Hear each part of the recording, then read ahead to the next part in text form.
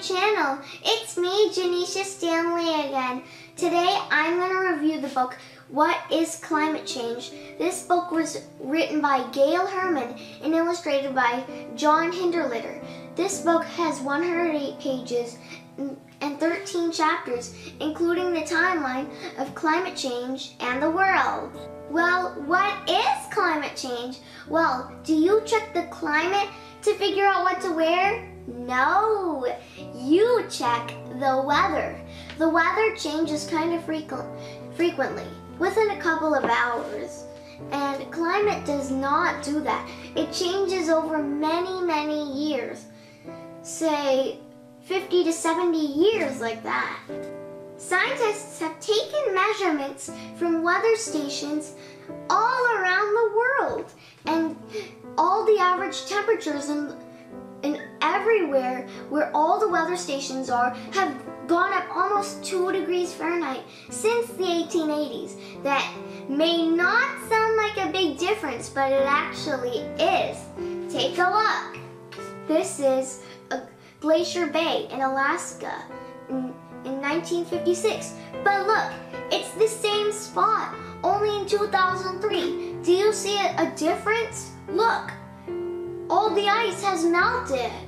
Because the temperature is increasing, glaciers can melt and fall into a river. And whenever that glacier melts, the water level can rise and that can start floods sometimes, but not all the time. I'm gonna show you something. Look, so this is Plateau Glacier in 1961. Look at all that ice. And now, just 42 years later, in 2003, you gotta see a difference. Look, all the ice is gone, and that water from the ice goes into the sea, which causes the water level to rise. And I'm gonna show you this. This is permafrost. Permafrost is under the soil. And look at that house. It's sinking into the permafrost.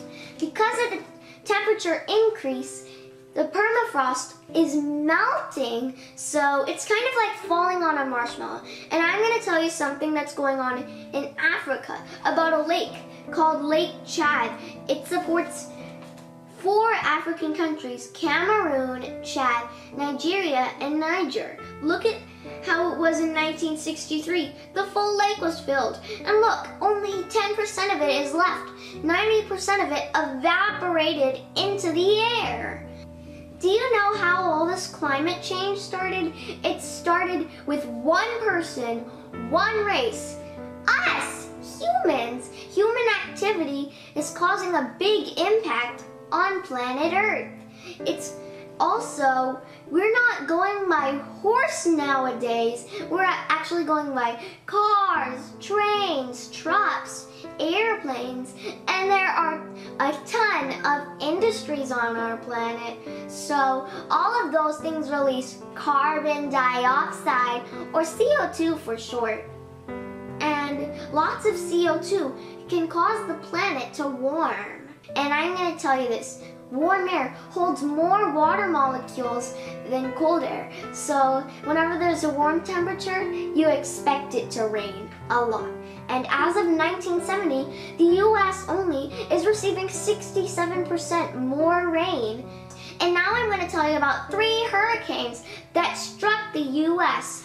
Number one, Hurricane Katrina struck in 2005, attacking Mississippi, Louisiana, and Alabama. Number two, Hurricane Sandy. It only attacked the far northeast, New York and New Jersey. Those are the states it attacked.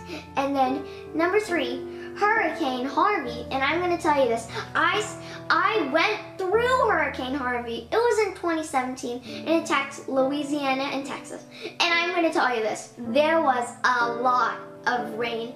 How can we save our planet? Well, you have to use renewable energy. Well, what is renewable energy? Which means an endless supply, such as solar power, wind power, or water power. You just use anything that you find in nature, like you can use the sun, wind, or water to use power. And you could also use this weird car called an electric car and it doesn't need gas. You could just stop it somewhere and if there are holes you can charge your electric car so it leaves zero emissions of carbon dioxide which is saving our planet. And we have to limit our use of electric power and add LED bulbs instead of using electric bulbs and that's saving our planet. And whenever I grow up, I will buy an electric car, not a gas car, so I won't have to be mean and hurt my planet. Everyone go and read this book to learn more about climate change and how to save Mother Nature. Hey everyone, thanks for watching my videos. Please like, comment, share, and subscribe to my channel to stay tuned in on my new videos. I'll fly over to my next video. See you there!